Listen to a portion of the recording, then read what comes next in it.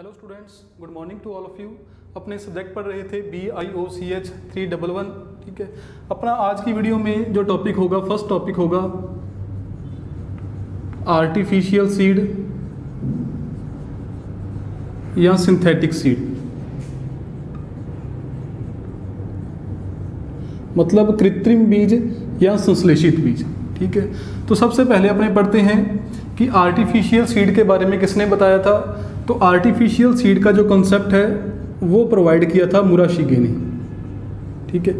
Artificial seed क्या होते हैं? मतलब जो सीड अपने को नेचुरली प्लांट से नहीं प्राप्त होते, इनको अपने इन विट्रो कंडीशन में तैयार करते हैं। अब अपने आर्टिफिशियल सीड किसकी हेल्प से बना सकते हैं? जो सोमेटिक एम्ब्रियो होता है। सोमेटिक एम्ब्रियो या काइक ब्रून इसके चारों ओर एक आर्टिफिशियल सीड कोड का फॉर्मेशन करके अपने आर्टिफिशियल सीड या सिंथेटिक सीड का फॉर्मेशन कर सकते हैं, ठीक है? अब टेक्निक के बेस पर जो आर्टिफिशियल सीड है, वो दो टाइप के हो सकते हैं। जो फ़र्स्ट है, वो है हाइड्रेटेड सीड हाइड्रेटेड सीड और सेकंड होता है डेसिकेटेड सीड ठीक है? तो सबसे पहले अपने पढ़ते हैं हाइड्रेटेड सीड के बारे में, जिसे अपने हिंदी में कहते हैं जल योजित बीज। हिंदी में इसे अपने क्या बोलते हैं? जल योजित बीज। हाइड्रेटेड सीड क्या होते हैं या इनका फॉर्मेशन कैसे होता है? तो इनके फॉर्मेशन के लिए अपने को तीन चीज़ों की रिक्वायरमेंट होती है। जो फ़र्स्ट है, वो अपने पास एक सोमेटिक एम्ब्रियो होना चाहिए। सेकंड अपने पास दो केमिकल होने चाहिए। फ़र्स्ट है सोडियम एल्जीनेट और जो थर्ड केमिकल है वो है कैल्शियम क्लोराइड ठीक है? तो हाइड्रेटेड सीड के फॉर्मेशन के लिए अपने को ये रिक्वायरमेंट होती है सोमेटिक एम्ब्रियो चाहिए अपने पास सोडियम एल्जीनेट और कैल्शियम क्लोराइड ये दो केमिकल होने चाहिए। इनकी हेल्प से अपने आर्टिफिशियल सीड या हाइड्रेटेड सीड का फॉर्मेशन कैसे करती हैं? तो मेथड क्या होता है कि अपने पास एक ब्यूरेट होती है। मान लो इस प्रकार अपने पास ये एक ब्यूरेट है और एक है बीकर, ठीक है? इस ब्यूरेट के अंदर अपने कौन सा केमिकल लेते हैं? सोडियम एल्जीनेट इस ब्यूरेट के अंदर जो केमिकल होगा, वो कौन सा केमिकल होगा? सोडियम एल्जीनेट ठीक है? और इस बीकर के अंदर अपने केमिकल लेते हैं कैल्शियम क्लोराइड जो अपना दूसरा केमिकल है। यहाँ पर जो केमिकल है, वो है कैल्शियम क्लोराइड ठीक है? और अपने इसमें जो अपना सोमेटिक एम्ब्रियो है, वो यहाँ पर प्रेजेंट होता है, ठीक है? तो होता क्या है कि जब इस सोडियम एल्जीनेट की जो ड्रॉप है, जो बूंद है, वो कहाँ पर आती है? कैल्शियम क्लोराइड में आती है। मतलब जो नीचे बीकर है, इस बीकर में कौन सा केमिकल है? कैल्शियम क्लोराइड और अपना सोमेटिक एम्ब्रियो ठीक है? जब इस सोडियम एल्जीनेट की जो ड्रॉप है, वो किस पर गिरती है? इस सोमेटिक एम्ब्रियो पर गिरती है। तो होता क्या है कि मान लो ये अपना सोमेटिक एम्ब्रियो था और इस सोमेटिक एम्ब्रियो के चारों ओर किसका कवर बन जाता है? सोडियम एल्जीनेट का आवरण बन जाता है। फिर क्या होता है कि इसके चारों ओर जो सोडियम एल्जीनेट है, ये सोडियम एल्जीनेट और कैल्शियम क्लोराइड ये दोनों आपस में क्रिया करके एक नए केमिकल का फॉर्मेशन करते हैं, जिसे अपने बोलते हैं कैल्शियम एल्जीनेट। ठीक है? उसे अपने क्या बोलते हैं? Calcium alginate. मतलब जो सोडियम एल्जीनेट और कैल्शियम क्लोराइड आपस में क्रिया करके किसका फॉर्मेशन करते हैं? कैल्शियम एल्जीनेट का। तो इस सोमेटिक एम्ब्रियो के चारों ओर कौन से केमिकल का जो आवरण होता है? कैल्शियम एल्जीनेट का। तो इस प्रकार अपने पास यहाँ पर ये अपना सोमेटिक एम्ब्रियो है और सीड कोड के रूप में जो यहाँ पर कवर है, ये कवर किसका बना हुआ है? कैल्शियम एल्जीनेट का। इस कैल्शियम एल्जीनेट का फॉर्मेशन कैसे हुआ है कि जो सोडियम एल्जीनेट और कैल्शियम क्लोराइड थे, ये आपस में रिएक्शन करके किसका फॉर्मेशन करते हैं? कैल्शियम एल्जीनेट का, जिसके कारण एक हार्ड सीड कोड का फॉर्मेशन हो जाता है। जो हाइड्रेटेड सीड है ये जो हाइड्रेटेड सीड है, जिसे अपने जल योजित बीज भी कहते हैं, ये किस प्रकार के होते हैं? ये स्टिकी होते हैं मतलब चिपचिपे होते हैं।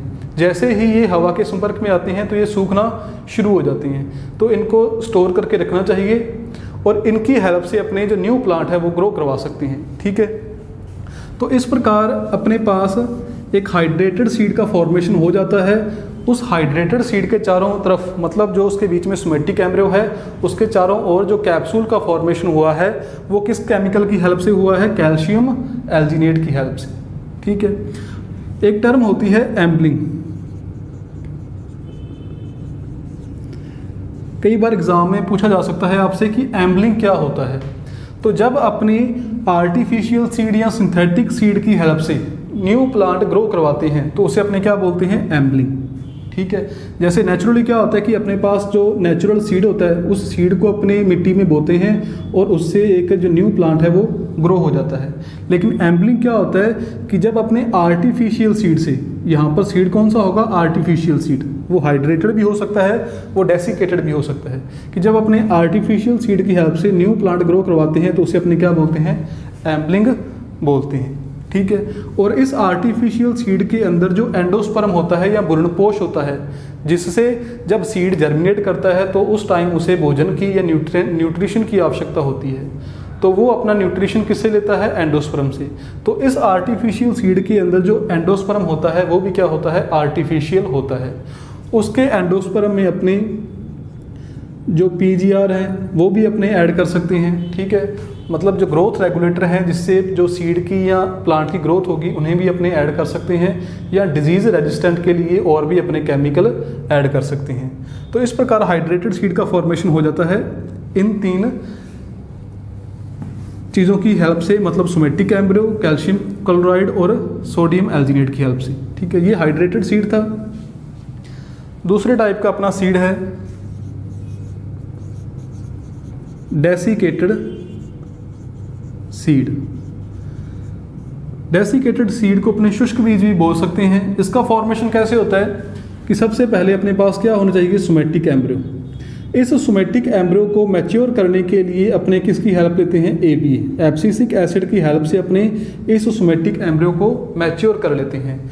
और जब सोमेटिक एम्ब्रियो क्या हो जाता है? मैच्योर हो जाता है या विकसित हो जाता है, फिर उसके चारों ओर एक पॉलीमर या बहुलक का आवरण बनाते हैं और उस पॉलीमर का नाम आपने याद रखना है या उस केमिकल का नाम आपने याद रखना है जो सोमेटिक एम्ब्रो के चारों ओर एक कवर का फॉर्मेशन करता है। तो उस केमिकल का नाम होता है पॉली ऑक्सी इथाइलिन ग्लाइकोल ठीक है? ये केमिकल है पॉली ऑक्सी इथाइलिन ग्लाइकोल जिसकी हेल्प से अपने इस सोमेटिक एम्ब्रियो के चारों ओर एक कैप्सूल का या कवर का फॉर्मेशन करते हैं, ठीक है? और इस प्रकार एक डेसिकेटेड सीड का फॉर्मेशन हो जाता है, ठीक है?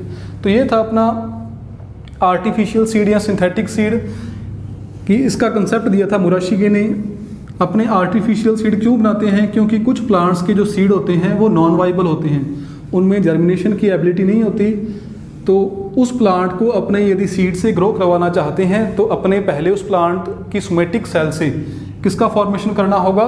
सोमेटिक एम्ब्रियो का, और फिर अपने उस सोमेटिक एम्ब्रियो से आर्टिफिशियल सीड या सिंथेटिक सीड का फॉर्मेशन कर सकते हैं। तो टेक्निक के बेस पर दो टाइप के आर्टिफिशियल सीड हो सकते हैं हाइड्रेटेड सीड और डेसिकेटेड सीड ठीक है? हाइड्रेटेड सीड स्टिकी होते हैं, चिपचिपे होते हैं, और जो डेसिकेटेड सीड हैं, वो शुष्क होते हैं।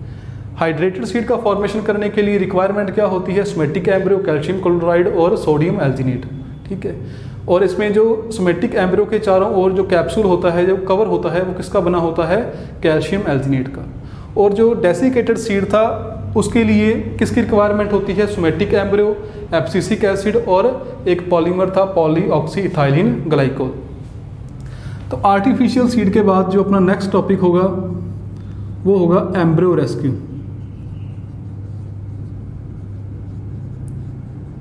जिसे अपने हिंदी में बुरण बचाव या बुरण सुरक्षा भी बोल सकते हैं। तो एम्ब्रियो रेस्क्यू क्या होता है? इमेच्योर एम्ब्रियो को सबसे पहले अपने इसकी डेफिनेशन देखते हैं। इमेच्योर एम्ब्रियो को इन विट्रो कंडीशन में कल्चर करना या लैब के अंदर कल्चर करना, क्या कहलाता है? एम्ब्रियो रेस्क्यू कहलाता है। हिंदी में इसे अपने क्या बोलेंगे? अविकसित भ्रूण को पात्रे तकनीक द्वारा संवर्धन करना क्या कहलाता है? एम्ब्रियो रेस्क्यू कहलाता है। तो अपने एम्ब्रियो रेस्क्यू को क्यों करते हैं? भ्रूण की सुरक्षा या भ्रूण का बचाव अपने क्यों करते हैं? क्योंकि जब अपने प्लांट्स के अंदर interspecific hybridisation interspecific hybridisation करवाते हैं तो जो न्यू प्लांट अपने पास आता है, उसके जो सीड होते हैं उसके सीड किस प्रकार के होते हैं? नॉन वाइबल होते हैं। नॉन वाइबल क्यों होते हैं? क्योंकि उनके सीड के अंदर जो एंडोस्पर्म होता है या भ्रूणपोष होता है, वो क्या हो जाता है? डीजनरेट हो जाता है या नष्ट हो जाता है। तो सीड के जर्मिनेशन के लिए किसकी आवश्यकता होती है? सीड को न्यूट्रिशन की या भोजन की आवश्यकता होती है। वो अपना भोजन किससे लेता है? एंडोस्पर्म से या भ्रूणपोष से। तो जब सीड के अंदर एंडोस्पर्म या भ्रूणपोष ही नहीं होगा तो उस सीड का जर्मिनेशन कैसे होगा? ठीक है? तो इंटर स्पेसिफिक हाइब्रिडाइजेशन जब अपने करवाते हैं प्लांट्स के अंदर तो जो अपने पास सीड आते हैं, वो सीड क्या होते हैं? नॉन वाइबल होते हैं, क्योंकि उनमें एंडोस्पर्म डी जनरेट हो जाता है, जिसके कारण जो एम्ब्रियो है या सीड है, वो जर्मिनेट नहीं कर पाता। तो ऐसी कंडीशन में अपने को एम्ब्रियो को रेस्क्यू करना पड़ता है। जैसे यहाँ पर एक एग्ज़ाम्पल है। ट्रिटिकम का जब अपने क्रॉस करवाते हैं सिकेल के साथ। तो ये कैसा हाइब्रिडेशन है? इंटर स्पेसिफिक हाइब्रिडाइजेशन है। तो किसका फॉर्मेशन होता है? ट्रिटिकेल का फॉर्मेशन होता है। ठीक है? मतलब यहाँ पर अपने पास दो प्लांट हैं। एक ये प्लांट है, मान लो, ये इसका फ्लावर है। ये कौन सा प्लांट है?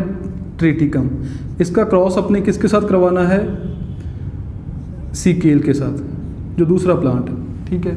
मान लो अपने जो ट्रिटिकम है, इसके पॉलन ग्रेन लिए और इसके पॉलन ग्रेन को अपने जो सिकेल है, सिकेल की जो स्टिग्मा होती है, सिकेल की स्टिग्मा के ऊपर अपने छिड़क देते हैं, ठीक है। और बाद में यहाँ पर जो उसका ओव्यूल होता है, ठीक है, यहाँ पर क्या है उसका? ओव्यूल जिससे सीड का फॉर्मेशन होगा। तो इन दोनों में क्या हो जाता है? निषेचन हो जाता है या फर्टिलाइजेशन हो जाता है? इसके अंदर जो फीमेल का मीट होता है। तो होता क्या है कि फर्टिलाइजेशन के बाद जो इस ओव्यूल से सीड बनता है, वो सीड क्या होते हैं? नॉन वाइबल होती हैं। क्योंकि इन सीड के अंदर जो एंडोस्पर्म होता है, वो नहीं होता। तो एंडोस्पर्म क्यों नहीं होता? क्योंकि जो ट्रिटिकम होती है, इसके अंदर दो जीन होते हैं के आर वन और के आर टू ये दोनों जीन क्या करते हैं कि जो इसका सीड होता है जो यहाँ से सीड बनेगा, उस सीड में जो एंडोस्पर्म होता है, उसको डीजनरेट कर देते हैं। जिसके कारण जो एम्ब्रियो और सीड हैं, वो जर्मिनेट नहीं कर पाते। तो एम्ब्रियो रेस्क्यू करने के लिए अपने क्या करते हैं कि जब अपने ये परागन करवाते हैं या पॉलिनेशन करवाते हैं तो उस पॉलिनेशन के 10 से 15 दिन के बाद ही 10 से 15 दिन के बाद ही इस ओव्यूल से या इस ओव्यूल के अंदर जब फर्टिलाइजेशन होगा या निषेचन होगा तो उसमें जो इमेच्योर एम्ब्रियो होगा मतलब जो अविकसित एम्ब्रियो होगा, उस इमेच्योर एम्ब्रियो को अपने बाहर निकाल लेते हैं और लैब के अंदर आर्टिफिशियल जो न्यूट्रिएंट मीडियम होता है, उसके ऊपर अपने कल्चर करते हैं। ठीक है? तो इस प्रकार अपने एम्ब्रियो रेस्क्यू करके अपने उस एम्ब्रियो को बचा सकते हैं। ठीक है? तो ये आपने एग्ज़ाम्पल याद रखना है, एक इंटर स्पेसिफिक हाइब्रिडाइजेशन का कि ट्रेटिकम और सिकेल में जब अपने क्रॉस करवाते हैं तो किसका फॉर्मेशन होता है? ट्रेटिकेल का। लेकिन जब इनमें दोनों में क्रॉस करवाएँगे तो जो सीड बनेगा, वो सीड किस प्रकार का होता है? नॉन वाइबल होता है। क्यों होता है? क्योंकि जो एंडोस्पर्म होता है, वो डीजनरेट हो जाता है। वो डीजनरेट क्यों होता है? ट्रेटिकम के जो दो जीन हैं dominant gene K R one और के आर टू के कारण। तो अपने बचाने के लिए क्या करते हैं कि पॉलिनेशन के 10 से 15 दिन के बाद ही जो इमेच्योर एम्ब्रियो होता है, उसको अपने बाहर निकाल कर लैब के अंदर आर्टिफिशियल न्यूट्रिएंट मीडियम के ऊपर अपने कल्चर करते हैं। तो इस प्रकार अपने जो एम्ब्रियो रेस्क्यू है, वो कर सकते हैं, ठीक है? तो अपने जो आज के दो टॉपिक थे, वो कंप्लीट हो गए। फ़र्स्ट अपना टॉपिक था आर्टिफिशियल सीड या सिंथेटिक सीड और दूसरा अपना टॉपिक था एम्ब्रियो रेस्क्यू ये दोनों ही टॉपिक एग्ज़ाम के पॉइंट ऑफ़ व्यू से काफ़ी इंपॉर्टेंट हैं। इन दोनों टॉपिकों में से जो क्वेश्चन आते हैं, वो तो आते हैं एक तो ऑब्जेक्टिव टाइप मतलब जो आपकी न्यू टाइप होती है, उसमें आएँगे। या दो या चार नंबर में क्वेश्चन आ सकते हैं। मतलब एक नंबर का क्वेश्चन आ सकता है, दो नंबर का या चार नंबर का। जो पंद्रह नंबर का क्वेश्चन है, वो इन टॉपिक में से नहीं आएगा। ठीक है? तो अपने कह सकते हैं कि ये तीन कैटेगरीज हैं, जहाँ से इन टॉपिकों पर क्वेश्चन पूछे जा सकते हैं। तो काफ़ी इंपॉर्टेंट है ये दोनों ही टॉपिक। ऑब्जेक्टिव टाइप क्वेश्चन के लिए भी, दो नंबर के क्वेश्चन के लिए भी और चार नंबर के क्वेश्चन के लिए भी। मतलब एम के लिए भी, जो आपकी न्यू टाइप होती है, उसके लिए भी और शॉर्ट जो क्वेश्चन होते हैं उनके लिए, ठीक है? तो नेक्स्ट वीडियो जो होगी आपकी, उसमें अपने करेंगे प्रोटोप्लास्ट कल्चर और साइब्रिड के बारे में, कि साइब्रिड का फॉर्मेशन कैसे होता है, ठीक है? तो नेक्स्ट वीडियो में अपने ये दो टॉपिक होंगे प्रोटोप्लास्ट कल्चर और साइब्रिड ठीक है? यदि आपको इन टॉपिक्स में जो आपको आज करवाए हैं एम्ब्रियो रेस्क्यू और आर्टिफिशियल सीड इनमें कोई भी डाउट हो तो आप कमेंट बॉक्स में कमेंट करके पूछ सकते हैं। Thank you